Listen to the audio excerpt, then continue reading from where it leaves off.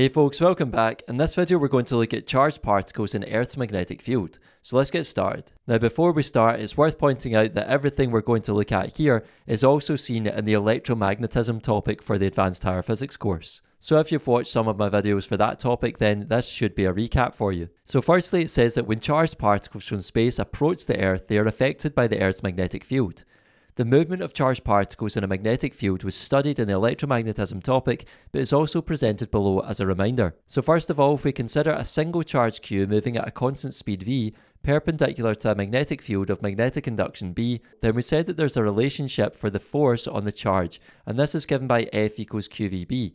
And I like to think of this as being the magnetic force. So we have F equals QVB, where F is the force on the charge measured in newtons, Q is the charge measured in coulombs, V is the speed of the charge measured in meters per second, and lastly B is the magnetic induction, otherwise known as the magnetic flux density or strength of magnetic field measured in Tesla. And then a quick note says that if the charge q is not moving perpendicular to the field, then the component of the velocity v perpendicular to the field must be calculated and then used in the above equation. So you might see that in the corresponding video for the worked examples. Quick reminder as well that we can use the right hand rule to determine the direction of the force on a moving charge.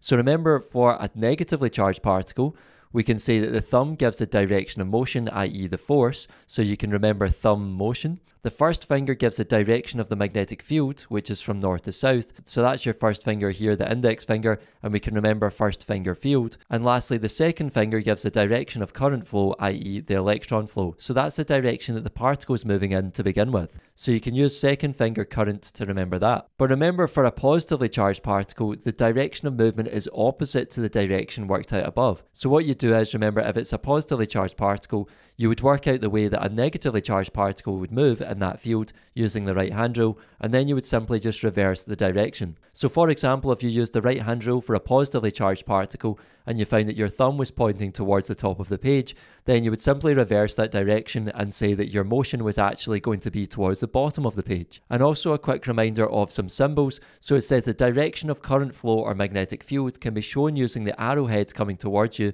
i.e. the dot inside a circle, to mean out of the page and the back of the arrow, i.e. across, to mean into the page. So if you see a dot inside a circle, you can think about this as being an arrow coming towards you. So that's to mimic the direction of the magnetic field or the current flow. But if you've got a cross, then that suggests, remember, that you've got an arrow going away from you into the page. So that would be for your magnetic field direction or your current flow direction. Moving on, in the electromagnetism topic, we also looked at how charge moves perpendicular to a magnetic field.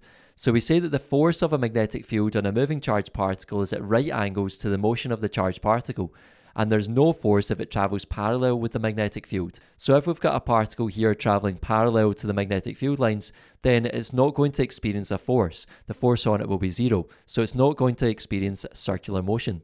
However, if a charged particle moves at right angles to this magnetic field, then it's going to experience a force and therefore it move in a circular path. And it goes on to say that thus the particle's direction of motion is changed, and as the magnetic force acting on the charged particle is always perpendicular to its motion, the particle moves in a circular path. The force always acts towards the centre of curvature of the circular path, i.e. towards the centre of this circle, and causes a centripetal acceleration. So in this picture, the magnetic field is into the page, shown by the crosses here, and we've got a positively charged particle plus q moving at a velocity v in this direction, but because it's moving perpendicular to the field, it's moving in a circular path. And this circular path will have a radius which we can calculate and we'll talk about that in a moment. But first of all, I just want to show you a quick simulation to help you visualize this. So here we have a simulation which I showed in one of the videos for the electromagnetism topic, but I'm going to show you again. So here we've got a charged particle of charge minus q and it's moving with a velocity v downwards perpendicular to this large magnetic field. And the magnetic field in this case is going in towards the screen. So if I click play here, you'll see that the charged particle is going to move in a circle. We can also label the force there, which acts towards the centre of the circular path. So we can say that for a large magnetic field, the force on the charged particle is big, the force increases. We can say the radius is going to be smaller and the period of that motion is going to be shorter. However, if we decrease the strength of the magnetic field and click play, you'll see that we get a much bigger circular path traced out. So let's trace out that circle there and label the force. And this is because this time the force decreases on the particle and we've got a larger radius and a longer period. Jumping back to the notes now, we've seen that there's going to be a magnetic force causing a centripetal acceleration here. So it says that if the charged particle is acted on by a magnetic force of magnitude F equals QVB, it experiences a centripetal acceleration A equals V squared over R. And since F equals ma from Newton's second law, then the centripetal force we can say is given by F equals mv squared over r. And this was seen in both the rotational motion topic, the astrophysics topic, and the electromagnetism topic. And we can then derive an expression for the radius of the circular path. So it says substituting for F, we have that QVB for the magnetic force is equal to mv squared over r, i.e. the centripetal force. And that's because it's the magnetic force here which is causing the centripetal force. So setting these two forces equal to each other and then cancelling a v on both sides gives us QB equals mv over r, and then simply cross multiplying by swapping the r and the qb over gives us r equals mv over qb. So hopefully you can see the radius of the circular path of the charged particle depends on its mass and its charge q, as well as the strength of the magnetic field and the speed that the particle is doing. So the more massive a particle, the bigger its radius of curvature, and the smaller the magnetic induction, i.e. the weaker the magnetic field strength, then the larger the radius of curvature as well. We saw that this idea can be used in mass spectrometers to identify atoms in a sample, and that means to distinguish particles based on their mass, because we know now that the mass of particles will affect their radius of curvature. Then says to note that the above expression for radius is not given on the relationship sheet in the exam, so it's a good idea for you to be able to know how to derive it. And remember, we just start with the two forces, the centripetal force and the magnetic force, and equate them together in order to arrive at this expression. Lastly, we're going to look at charge moving at an angle to a magnetic field, and again, this was seen in the electromagnetism topic. So it says that we have just seen that a charged particle, such as an electron, entering a magnetic field at right angles will follow a circular path. However, if it enters at an angle, it will follow a helical path as it moves forwards. This is due to the two components of the particle's velocity, one perpendicular to the magnetic field, which we can call v sine theta, creating the circular motion, and a component parallel to the field, which we can call v cos theta, creating the pitch in the helix. So let's say the electron was moving at an angle to this magnetic field along here, so its velocity vector v would be along here, then we can draw that vector here and call it v. And that means that we're going to have a component v cos theta going parallel with the field lines and a component of the velocity v sine theta going perpendicular to the field lines. So it's this component v sine theta which is causing this circular motion to occur, and it's the parallel component v cos theta which is causing the pitch in the helix. And remember the pitch is the distance between these two adjacent points on the helix, a bit like the distance between two crests or troughs on a wave pattern. So you can see in this case we get this helical motion traced out. Just to show you a quick simulation to help you visualize this. So again, I showed this simulation when I did videos for the electromagnetism topic, but I'll show you again here just to remind you. So here our magnetic field direction is downwards, and our charged particle minus q is entering this magnetic field at an angle with this velocity vector v. And therefore in this situation, the component of the velocity perpendicular to the field is going to be v sine theta along this way, and the component parallel to the field is going to be v cos theta this way. So if we click play, you'll see that the particle moves in this sort of helical motion. And we can trace the helix like this shown here, and we can also label the force vector, which is this purple one here. Now you'll notice that as it moves around the helix, the force vector acts towards the centre. So I'll just start that again so you can see some more of the helical motion. And remember this is how charged particles from the solar wind will move when they enter the Earth's magnetic field and when they are pushed towards the poles of the Earth's magnetic field.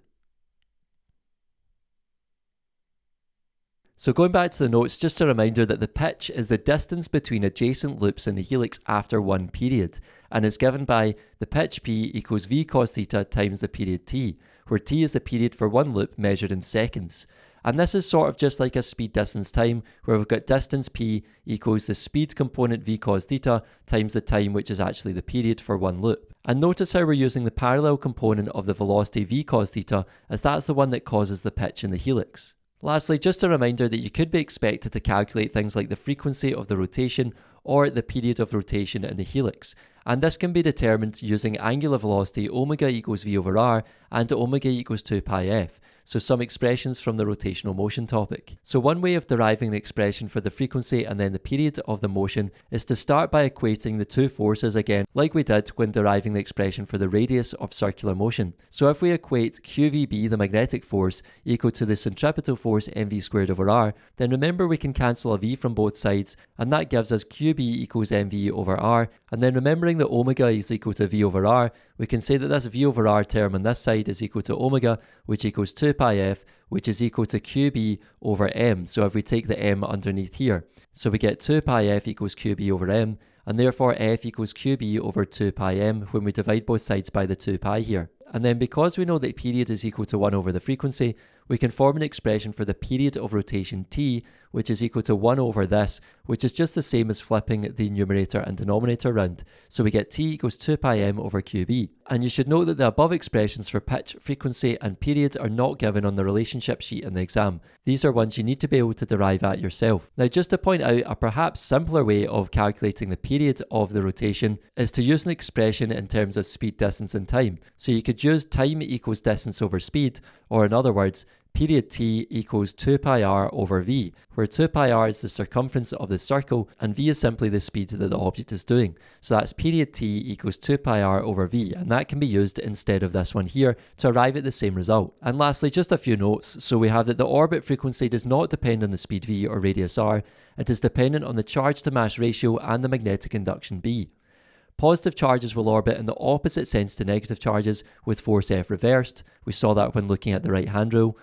Particles having the same charge but different masses, for example electrons and protons, entering the magnetic field along the same line will have different radii of orbit. And in this specific case, if the sign of the charge is different, so we've got positively charged particles and negatively charged particles, then they will also orbit in opposite directions. And lastly, the kinetic energy of the particle in orbit is a constant because its orbital speed is constant, and we say the magnetic force does no work on the charges. So hopefully that's a useful reminder of some of the important parts from the electromagnetism topic, which you could also be asked to use in questions on the quanta topic. That's all for this video folks, thanks for watching. If you made it to the end, I really appreciate it. Make sure to give the video a like, subscribe to the channel, and I'll see you in the next one. Take care.